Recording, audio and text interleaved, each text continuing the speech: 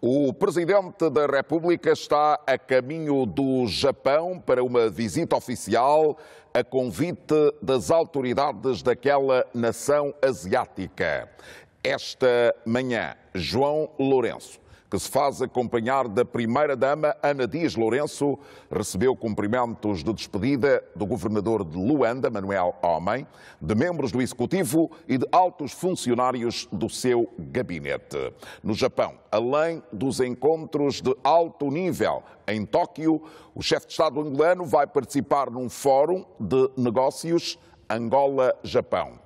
Parte do programa da visita de João Lourenço ao Japão será cumprida nas cidades de Nagoya e Kyoto, com atividades de cariz cultural e também eh, protocolar. Imagens que mostram os momentos da partida de João Lourenço ao Japão.